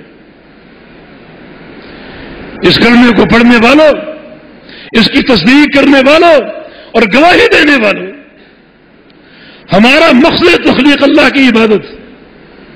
عبادت کیا ہے؟ کہ کلمہ عبادت پیش کر رہے ہیں لا الہ الا اللہ. لا الہ اللہ کہو. یعنی یہ کہو، اقرار کرو کہ کوئی معبود نہیں، صرف اللہ ہی معبود حق ہے، جس کی عبادت کی جائے. عبادت کیا ہے؟ شیخ الاسلام میں تیمیہ رحمہ اللہ نے عبادت کی تعریف کی کہ العباد اسم جامع لکل ما يحبه اللہ من الاعمال بالاقوال کہ عبادت ایک بڑا جامع لفظ ہے. ہر وہ شے عبادت ہے جس شے پر اللہ کی رضا ہو. جس پر اللہ راضی ہو. خواب و عمل ہو یا زبان کا قول ہو. ہر عمل، ہر قول جس میں اللہ تعالیٰ کی رضا ہو وہ عبادت. لا الہ الا اللہ، اس کا تقاضا کیا ہے؟ اللہ ہی عبادت کے لائق ہے۔ ہماری جو ایک زندگی کا طرز عمل ہے، اس میں یہ پہلو موجود ہے۔ ہمارا ہر قول اللہ کی رضا میں ہے۔ ہم کسی کی غیبت تو نہیں کرتے، کسی کی چگلی تو نہیں کرتے۔ ہمارا ہر عمل عبادت شمار ہو سکتا ہے۔ اللہ کی رضا میں شمار ہو سکتا ہے۔ ہم سب نے اپنا جائزہ لینا۔ ہے یہ چیز بھی توحید کے متقادیات میں سے۔ دیکھیں ابو مرسد رضی اللہ عنہ اللہ کے نبی کو مکہ بھیجا، کسی کام کی غرض سے۔ وہ ابتدائی دور تھا، ہجرت مدینہ ابھی شروع ہوئی تھی، طے پائی تھی اور مدینہ کی ہجرت ہو چکی تھی۔ ابو مرسد کو کسی کام مکہ بھیجا۔ رات کی تاریخی میں چھپ کر مشن ادا کرنے کے لیے جا رہے تھے، راستے میں اناک نامی عورت مل گئی۔ اناک یہ کون تھی، یہ وہ عورت تھی جو فاحشہ تھی اور جاہلیت کے دور ابو مرسد کا اس سے تعلق تھا۔ دونوں میں ایک عشق اور پیار کی جو ایک رابطے تھے، تنہائیاں گزارتے تھے۔ رات کی تاریخی میں عورت نے اپنے پرانے عاشق کو دیکھا۔ وہ جذبات بھڑک اٹھے اس کا استقبال کیا۔ اس کو گناہ کی دعوت دی۔ اب مرسد نے کہا کہ اب یہ گناہ میں نہیں کر سکتا۔ تیرے اور میرے درمیان حائل ہو چکا ہے۔ لا الہ الا اللہ۔ میں نے کلمے کا اقرار کر لیا، کلمے کا اعتراف کر لیا۔ میں نے اس کلمے کے اقرار اور اعتراف کا تقاضا یہ کہ اللہ کے سچے بندے بن جاؤ۔ کوئی معذیت نہ کرو، گناہ نہ کرو۔ گناہ اگر سامنے آئے، یہ کلمہ حائل ہو۔ اے اناق، میرے رب نے جس کا میں نے کلمہ پڑھا، اس نے زنا کو حرام کیا۔ ہم مدینے جاؤں گا، اللہ کے نبی سے نکاح کی اجازت مانگوں۔ اجازت مل گئی، تو اسے نکاح کا وعدہ کرتا ہوں۔ مدینے پہنچے، اللہ کے پیارے پیغمبر سے اجازت مانگی، اس سے نکاح کر لو۔ اللہ کی بڑی آ گئی۔ زانی عورتیں، زانی مردوں کے لیے۔ ان ناپاک عورتوں کا پاک پاک مردوں سے اب کوئی تعلق نہیں۔ ٹھکرا دیا، ٹھوکر مار دی۔ یہ کلمہ لا الہ الا اللہ۔ اس کی توحید کا اقرار کر لیا اس کے ایک ایک امر کی پیر بھی کرنی معصیتوں سے گریز کرنا ہے۔ تو یہ بس ہمارے اندر موجود ہے۔ ہم نے کلمہ پڑھا مانویت اس کی حاصل ہو چکی، ادراک حاصل ہو چکا۔ اب سوال یہ ہے کہ اللہ کی عبادت حق ادا ہو رہا ہے؟ عبادت کا معنی صرف نماز نہیں، روزہ نہیں، بلکہ ہر وہ قول عبادت ہے، ہر وہ عمل عبادت ہے جس میں اللہ کی رضا ہو۔ اللہ کی رضا کے منافی کوئی عمل عبادت نہیں ہو سکتا۔ کوئی قول عبادت نہیں ہو سکتا۔ میں بھی جائزہ لوں، آپ بھی جائزہ لوں ہمارے اندر یہ بات موجود ہے۔ ہم نے عبادت کا حق ادا کیا۔ عبادت ہر وہ قول ہے، ہر وہ عمل ہے جس میں اللہ کی رضا ہو۔ اب اللہ کی رضا ہمیں کیسے معلوم ہو؟ کس قول میں اس کی رضا ہے؟ اور کس قول میں رضا نہیں؟ کس عمل میں اس کی رضا ہے اور کس عمل میں اس کی رضا نہیں ہے؟ ہمیں کیسے معلوم؟ یہ علم دینے کے لیے اللہ تعالیٰ نے ایک شخصیت کو چنا جس کا نام ہے محمد صلی اللہ علیہ وسلم۔ یہ تمہیں بتائے گا، کون سا قول میری رضا میں ہے اور کون سا قول میری رضا کے خلاف ہے؟ کون سا عمل میری رضا میں ہے اور کون سا عمل میری رضا میرے رضا کے خلاف؟ ہے یہ بتائے گا تو پھر لا الہ الا اللہ کا تقاضا یہ ہے۔ ہم عبادت کے اتوار کے تعلق سے، اطاعت کے تعلق سے جڑ جائیں، کس کے ساتھ؟ محمد الرسول اللہ وسلم کے ساتھ۔ یہ عبادت کا تقاضا۔ شیخ الاسلام فرماتے ہیں، دو سوال، ان کے جواب معلوم کر لو۔ پورا دین آپ کو مل جائے گا۔ ان دو سوالوں میں پورا دین چھپا ہوا ہے۔ نمبر ایک، من تعبد۔ نمبر دو کئی فتعبد من تعبد، عبادت کس کی کرنی؟ کیا جواب ہے اس کا؟ صرف اللہ کی۔ کسی غیر اللہ کی نہیں۔ ایک اللہ کا اقرار، باقی سب کا انکار۔ من تعبد، عبادت کس کی کرنی؟ اس کا جواب کیا ہے؟ صرف اللہ کی۔ دوسرا سوال کئی تعبد؟ عبادت کیسے کرنی؟ کیا جواب ہے اس کا؟ صرف محمد رسول وسلم کے طریقے سے۔ وہ اللہ کے نمائندے۔ اللہ نے انہیں ایک سیمپل اور نمونہ بنا کر بھیجا ہے۔ عبادت کس کی کرنی؟ اللہ کی۔ عبادت کیسے کرنی؟ رسول اللہ کے طریقے کی۔ صلی اللہ علیہ وسلم، یہ پورا دین۔ اور یہ تقاضا ہے، لا الہ الا اللہ کا۔ جس اللہ کی گواہی دے رہے ہو، اسی اللہ نے رسول بھیجا اپنے نمونے کے طور پر۔ اس کی اگر پیروی نہیں کرو گے، تو کلمے کا تقاضا پورا نہیں ہوگا۔ اس کی نافرمانی کرو گے، تو کلمے کا تقاضا پورا نہیں ہوگا۔ تو یہ کلمہ لا رہے اللہ ایک منحص ہے۔ یہ دعوت ہے، جہاد ہے، عقیدہ ہے، عمل ہے۔ اللہ کی عبادت ہے، رسول کی حفاظت ہے۔ پورے دین کا محور ہے۔ یہ کلمہ اگر ہوگا، دین قابل قبول ہے۔ یہ کلمہ اگر نہیں ہے، تو دین قابل قبول نہیں۔ ایک شخص اگر نمازیں پڑھے، روزے رکھے، حج کرے عمرے کرے تو حجت پڑھے، جہاد کرے، اور اس کے لا الہ الا اللہ کے فہم میں کوئی دراڑ ہے، کوئی کمی ہے، کوئی جھول ہے، اس کی نمازیں روزے قابل قبول نہیں۔ اور ایک شخص اگر توحید کو صحیح معنی میں سمجھتا ہے۔ سچی گواہی کے ساتھ، پوری تصدیق کے ساتھ۔ اور اگر عمل میں کمی ہے اور گناہوں کا ارتکاب بھی کرتا ہے، تو پوری توقع ہے اللہ کی رحمت سے کہ اللہ اس کو معاف کر دے گا۔ اور اگر اس کو سزا مل بھی گئی، تو سزا ہمیشہ کی نہیں ہوگی۔ کچھ وقت کے لیے ہوگی، بالآخر وہ نکال لیا جائے گا اور جنت میں داخل کر دیا جائے گا۔ لیکن مشرق ان اللہ لا یا پھر انشرا کا بھی اللہ کے دربار میں شرک کرنے والے کی معافی نہیں۔ اس کی معافی ہے ہی نہیں۔ لیکن ایک معاہد ہے، عمل میں کمی ہے، معصیتوں کا ارتکاب کیا ہے، اس کی مفرت کی توقع ہے موجود۔ اللہ تعالیٰ چاہے ابتدائن اسے معاف کر کے جنت میں داخل کر دے، اور چاہے تو ان اعمال کی سزا دے کر اسے جہنم سے نکال کر جنت میں داخل کر دے۔ مسلم احمد کی حدیث، ایک شخص کو قیامت کے دن پکارا جائے گا۔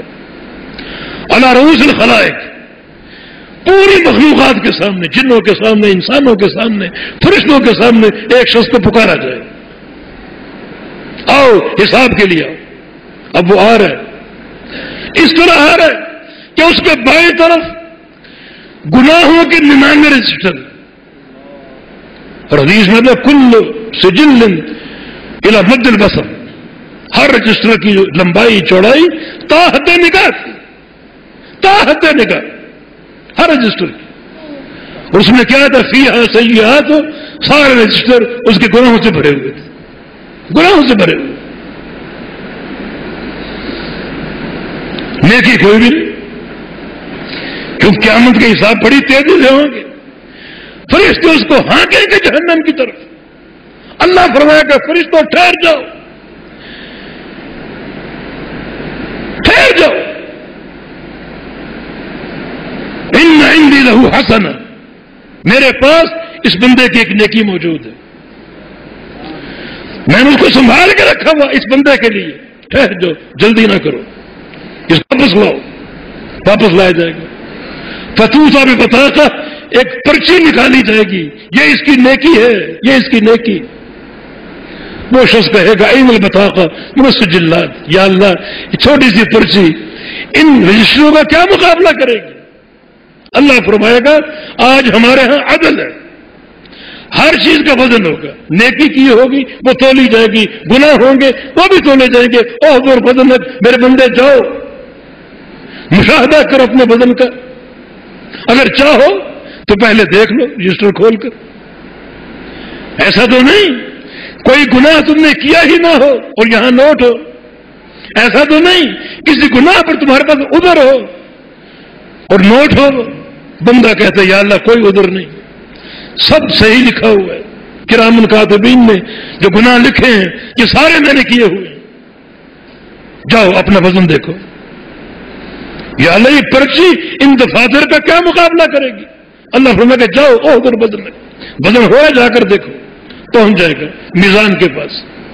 پرچی ڈال دی جائے گی۔ دیکھوں گے پلڑے میں۔ اور ننانوے دفاتر گناہوں کے پلڑے میں حدیث کے لفاظ ہیں جب تولا جائے گا تو سکول دل بتا کا بتاشت سجلات۔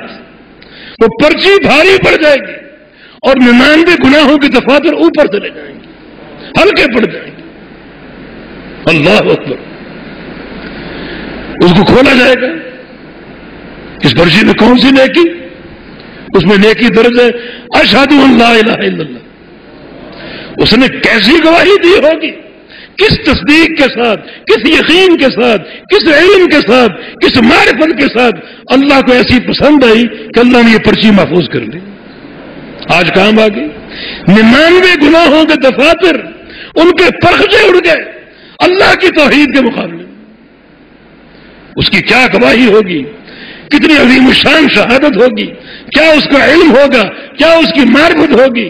کیا اس کی تصدیق ہوگی؟ کیا اس کا یقین ہوگا کہ اس کی گواہی تمام گناہوں پر حاوی آ گئی؟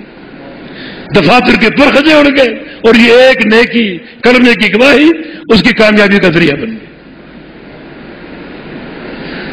تو ان تقاضوں کو سمجھو تو صحیح نا۔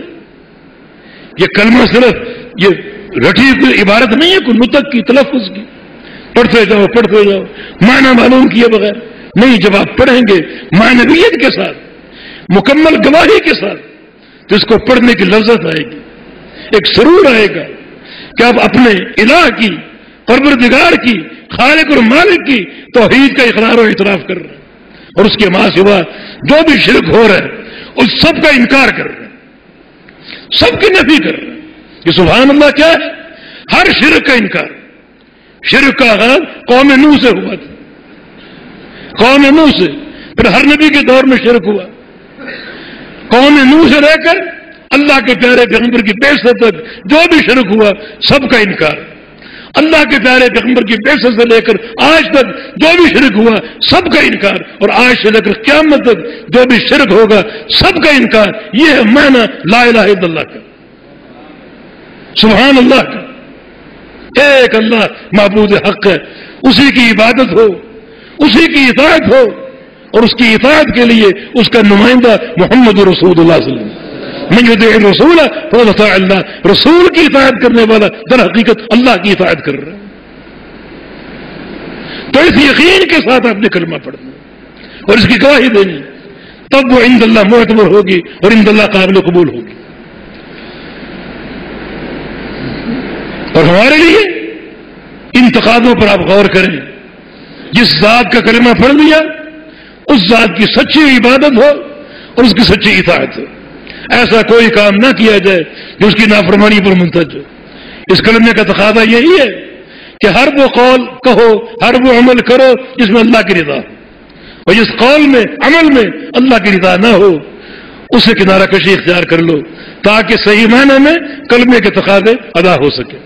اللہ پاک توفیق عطا فرما دے مجھے بھی اور آپ کو بھی۔ اللہ تعالیٰ ہمارے سینوں کو توحید خالص سے جو ہے وہ منور فرما دے اللہ تعالیٰ ہمیں توحید کی سچی محبت عطا فرما دے سچا فہم عطا فرما دے اس دل میں اللہ تعالیٰ شرک کی بغاوت پیدا کر دے۔ اللہ رب العزت ہمیں توحید خالص اپنانے کی توفیق عطا فرما دے۔ جب تک زندگی ہے، توحید پر قائم رہے۔ جب موت کا وقت آئے، خاتمے کا وقت آئے، الہ العالمین، ہمارے سینوں کو اپنی توحید سے منور رکھنا۔ زبانوں پر لا رحت اللہ کی گواہی کا اقرار و اعتراف ہو۔ اور یا اللہ، اس موت کے وقت تیری محبت ہو، تیرے حبیب کی محبت ہو۔ ہر عمل کا ظاہر اللہ کے پیارے پیغمبر کی سنت سے سجا ہوا ہو۔ ہر عمل کا باطن اخلاص کے ساتھ منور ہو۔ اور یہ کامیاب کامیابی کے اصول ہیں اقول قولی اللہ علی باخر دعوانا الحمد للہ رب العالمین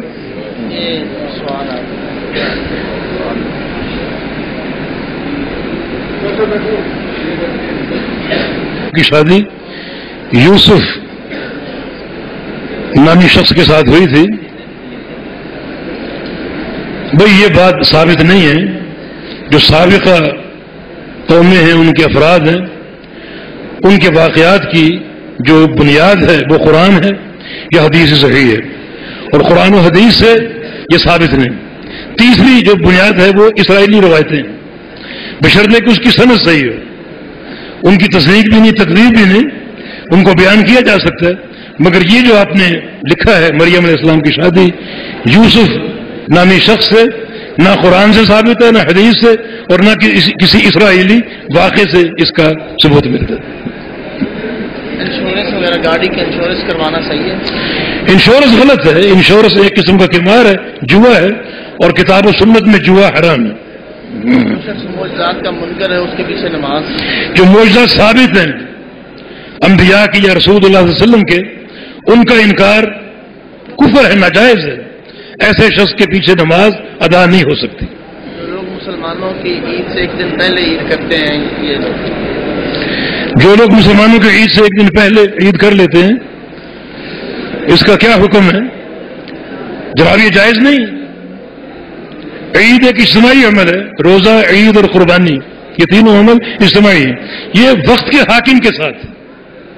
وقت کے حاکم کے ساتھ۔ سعودی عرب کا چاند پاکستان میں معتبر ہو سکتا ہے اگر ہمارا حاکم اس کو تسلیم کر لے۔ ہمارا کیلنڈر اس کے مطابق بن جائے۔ اس کے مطابق ہم نمازیں پڑھیں، عید کریں، روزے رکھیں، لیکن جب تک ہماری حکومت اس کے ساتھ موافقت نہیں کرے گی، اس وقت تک ان سے قبل، ہم سے قبل عید نہیں ہو سکتی۔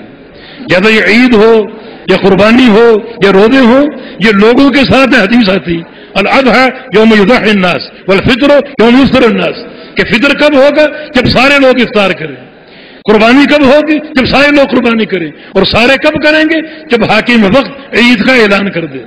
عید کا اعلان وقت کا حاکم کرتا ہے یا اس کی کمیٹی کرتی ہے۔ ایک شخص فردی طور پر یا دو افراد چار افراد وقت سے پہلے عید کر لیں وقت سے پہلے روزے رکھ لیں تو یہ بات نبی اسلام کی حدیث کے خلاف ہے اور شریعت کے مقاصد کے خلاف ہے۔ عورت مسجد میں اعتکاف کر سکتی ہے بعض علماء کہتے ہیں گھر میں اعتکاف عورت کا گھر میں اعتکاف نہیں ہوتا اعتکاف ایک ایسی عبادت ہے جو مسجد ہی میں ادا ہو سکتی ہے مرد ہوں یا عورتیں ہوں مساجد ہی میں اعتکاف کریں گی۔ بے نماز کا کیا حکم ہے اسلام میں واضح؟ بے نماز شخص جو ہے اگر نماز کا منکر ہے تو کافر ہے۔ اگر نماز کو فرض مانتا ہے مگر سستی کی بنا پر نماز نہیں پڑھتا تو وہ عملی طور پر کافر ہے عقیدت کافر نہیں۔ کیا کسی کا طواف عمرہ یا حج کا کر سکتے ہیں؟ تو کسی کی طرف سے عمرہ کر سکتے ہیں حج کر سکتے ہیں اکیلے طواف کی کوئی شرعی اصل نہیں ملتی واللہ عالم خطبہ میں سلام کر سکتے ہیں۔ اور اس کا جواب دے سکتے ہیں؟ نہیں جب خطبہ شروع ہو جائے نہ سلام کر سکتے ہیں نہ اس کا جواب دے سکتے ہیں۔ علیہ السلام کا دوبارہ نزول دنیا میں حق ہے عیسیٰ علیہ السلام آئیں گے کہ ہم سے قبل اور یہ دجال کا خاتمہ کریں گے اور پھر دین میں عدل دنیا میں عدل قائم ہوگا اسلام نافذ ہوگا اور شریعت قائم ہوگی۔ اس کے بعد پھر آہستہ آہستہ سب ختم ہوگا اور دوبارہ فساق اور فجار لوگ آ جائیں گے ان پر قیامت قائم ہوگی۔ جی اہل سنت کا اجماعی عقیدہ کہ انبیاء قبور مطالعہ میں دنیاوی ابدان کے ساتھ زندہ ہیں ان دل قبر پڑے جانے والے سلام کو سنتے ہیں۔ نہیں جناب، انبیاء کو دنیاوی زندگی کی حیات دینا، قبر میں، یہ ان کے شان کے منافی زندگیاں تین ہیں، ایک دنیا کی زندگی، دوسری برزخ کی، اور تیسری آخرت کی۔ سب سے ناقص اور ناپسندہ زندگی دنیا کی زندگی۔ اگر انبیاء کرام کو آج بھی آپ قبروں میں دنیا کی زندگی دے رہے ہیں۔ یہ ان کی شان کے خلاف ہے۔ برزخی زندگی میں اللہ تعالی رضا کا معاملہ جنت کا معاملہ اور سارے معاملہ ثابت ہے قبر کا جنت کا باغیچہ بن جانا دروازے کھل جانا جنت کے جنت کے بستر فراہم ہو جانا یہ برزخی زندگی کے ساتھ ہے۔ آپ آج بھی انبیاء کو دنیا کی زندگی دیں یہ ان کی شان کے خلاف ہے۔ بدتی کے پیچھے نماز نہیں ہوتی۔ اور خاص طور پہ ایسا بدعت تھی جو بدعت مکفرہ کا مرتکب ہے۔ کچھ لوگ آج اللہ تعالیٰ کو کے بارے میں یہ عقیدہ رکھتے ہر جگہ موجود ہے۔ بلکہ بعض لوگ یہ سمجھتے ہیں کہ اللہ تعالیٰ مخلوق کو پیدا کر کے مخلوق میں داخل ہو جاتا ہے۔ یہ عقیدہ کفر ہے۔ اور اکثر مساجد ہماری ملک میں انہی عقیدوں کے حاملین کی تو ان کے پیچھے نماز نہیں ہوتی۔ عمری کی نماز کی کیا عمری کی کوئی نماز نہیں۔ اگر آپ کی نمازیں رہ گئی آپ سچی توبہ کر کے آئندہ کے لیے نمازوں کی پابندی اختیار کر لیں۔ اللہ غفور الرحیم ہے۔ آپ کے اس گناہ کو معاف کر دے گا۔ اور آئندہ کی زندگی اگر تقوا کے ساتھ ہے اور نمازوں کے ساتھ ہے اللہ تعالیٰ اس کو قبول فرما لے۔ گا متشابہات سے کیا مراد ہے قرآن کریم قرآن پاک میں کچھ متشابہات ہیں جن کا معنی معلوم نہیں ہے۔ تو ان کے معنی کا قصد نہیں کرنا چاہیے۔ بلکہ اس کے اس کو اللہ کے سپرد کر دیں۔ جیسے صورتوں کے شروع میں وہ مقطعات علی فلام میم علی فلام را متشابہات میں سے ان کے معنی معلوم نہیں۔ قرآن کے الفاظ ان پر ایمان فرض ہے، باقی معنی اللہ کے سپرد ہے۔ اس طرح قرآن پاک میں اللہ تعالیٰ کے اسماء و صفات کا ذکر ہے۔ اسماء و صفات میں ایک چیز معلوم ہے، ایک چیز متشابہ ہے۔ معلوم کیا ہے؟ معنی۔ اللہ رحمان ہے، رحمان کا معنی مہربانی کرنے والا۔ اللہ سمیع ہے، سمیع کا معنی سننے والا۔ یہ معلوم ہے، لیکن کیسے سنتا ہے یہ معلوم نہیں۔ یہ متشابہات میں سے۔ کیفیت متشابہات میں سے اور معنی معلوم ہے۔ صفات حق ہیں، ان کے معنی معلوم ہے ان صفات کی کیفیت متشابہ ہے، جن کا علم اللہ کے پاس ہے۔ اس کیفیت کا قصد کرنا بھی جائز نہیں۔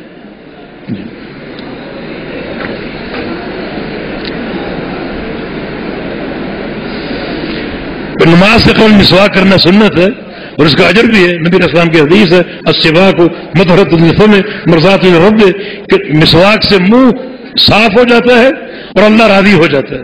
تو یہ عظیم عمل ہے اللہ کی رضا کا، اس پر عمل کرنا چاہیے۔ لکھ کے۔ یہ حلال رزق عین عبادت ہے۔ مسئلہ قرآن میں ہے، یہ حدیث میں۔ بس ان الفاظ کے ساتھ قرآن حدیث نہیں ہے۔ مگر حلال رزق کی، ترغیب بہت ہے، تاکید بہت ہے، حرام سے بچنے کی ترغیب بہت ہے۔ حرام سے بچو، حلال اختیار کر نبی اسلام کی حدیث ہے کہ جو انسان کا گوشت یا خون حرام سے بنتا ہے، وہ جنت میں داخل ہو ہی نہیں سکتا۔ تو اس کے مقابلے میں حلال جو ہے، عبادت ہے۔ اللہ تعالیٰ کی اطاعت ہے۔ اور بڑا اس کا اجر ہے، اس کا ثواب ہے، حلال کا قصد کرنا۔ تو حلال کا قصد کرنا چاہیے۔ اللہ پاک توفیق عثمان غنی کے دور میں جو لوگ ان کے باغی تھے ان کے پیچھے نماز کا انہوں نے کہا کہ وہ پڑھ لیں۔ ان کا جرم بغاوت تھا عثمان غنی کے دور میں۔ انہوں نے بغاوت اختیار کی تھی اپنے ایک اشتہاد کے تحت مگر وہ ان عقیدوں میں گرفتار نہیں تھے۔ عبادت الوجود کا عقیدہ حلولی عقیدہ اس قسم کے قائد باطلہ جو آج موجود ہیں۔ قبروں کی مجاورت قبروں پر سجدے اس کے وہ قائل نہیں تھے۔ باقی یہ ایک ایک, امر تھا جرم ان کا بغاوت کا۔ امیر المومنین نے ان کے پیچھے نماز پڑھی کیونکہ ان کے عقائد کی وہ منتہا نہیں تھی جو آج موجود ہے۔ آج شر قبروں پر شرک ہو رہا ہے مزاروں پر شرک ہو رہا ہے مجاورت ہو رہی ہے طواف ہو رہے ہیں سجدے ہو رہے ہیں غیر اللہ کے نام نظر و نیاد ہو رہی ہے۔ قبروں پر پھول چڑھانا دیے جلانا یہ سارے عمل ہو رہے ہیں اور سارے بھیانک قسم کے شرک ہیں۔ جی۔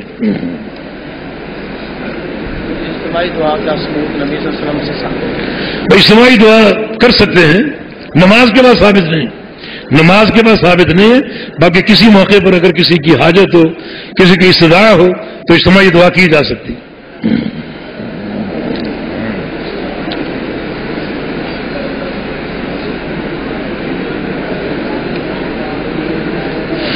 ساتھی ہیں، والدہ صاحبہ کے لیے دعا کی سزا کی اللہ تعالیٰ ان کے والدہ صاحب کو صحت دے دے۔ اللہ تمام بیماروں کی شفا کامل عطا فرما دے اور صحت کامل عاجل عطا فرما دے کیا چاہتے ہیں؟ سوال کیا ہے؟ میں نے سوال کیا کہ کیا فرض ہے؟ نہیں فرض نہیں ہے سنت ہے۔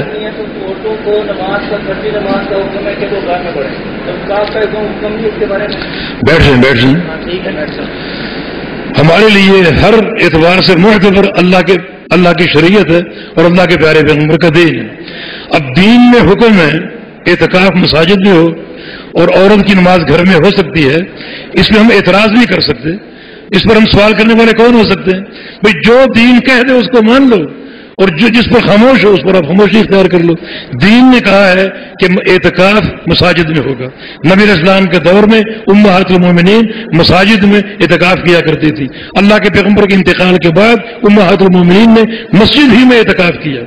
تو اعتکاف کے بارے میں حکم یہ ہے عورت کے لیے مسجد میں کرے، نماز کا حکم یہ کہ گھر میں پڑھ سکتی۔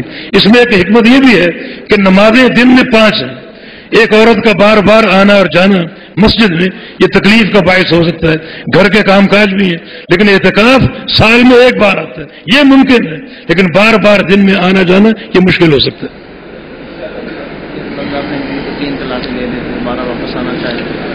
ایک بندہ اگر بیوی کو تین طلاقیں دے دیتا ہے، دوبارہ اگر ملنا چاہتے ہیں تو مل سکتے ہیں۔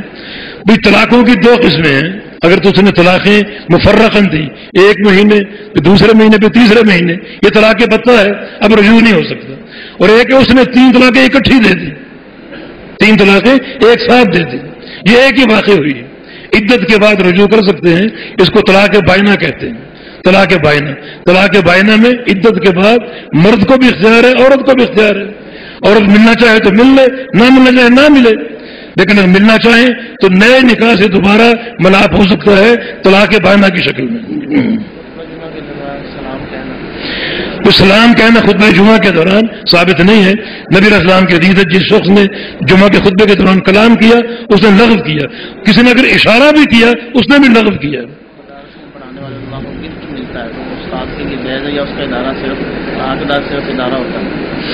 یہ مدارس میں پڑھانے والے علماء کو اگر کوئی تحفہ ملتا ہے تو وہ استاد کے لیے جائز ہے یا اس کا ادارہ حقدار ہے؟